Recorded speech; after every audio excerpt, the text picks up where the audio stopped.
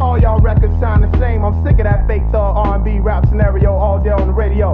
Same scenes in the video, monotonous material. Y'all don't hear me though.